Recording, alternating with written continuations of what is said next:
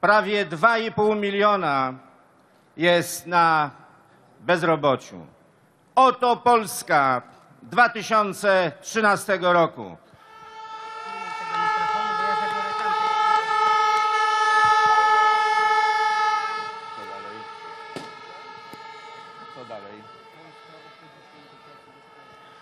Polska obchodzi święto pracy bez pracy.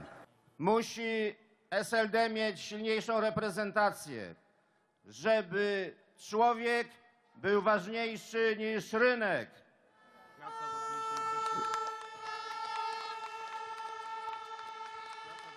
Żeby, żeby praca była ważniejsza niż zasiłek.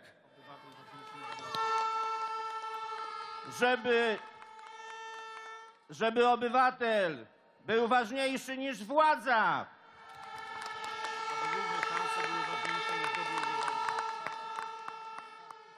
A równe szanse, żeby były ważniejsze niż miejsce urodzenia.